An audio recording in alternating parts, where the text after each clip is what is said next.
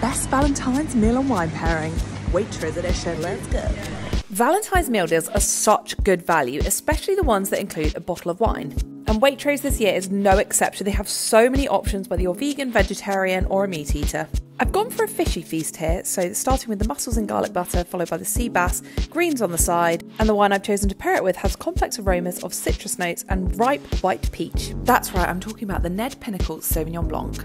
Now, Sauvignon Blanc absolutely loves garlic, so anything garlicky will pair really well with this, and the bright, zesty finish makes it the perfect accompaniment to the fish.